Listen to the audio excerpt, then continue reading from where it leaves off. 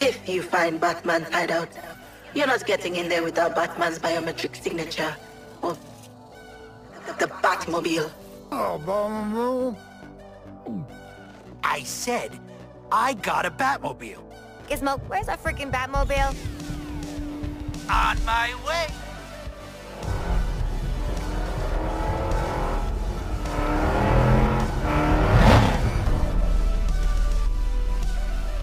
Toot toot, scumbags! What the hell is this? You lied to us. You promised the Batmobile, not a crapmobile. This beautiful creation is the Batmobile. Still no way I'm getting in one of those.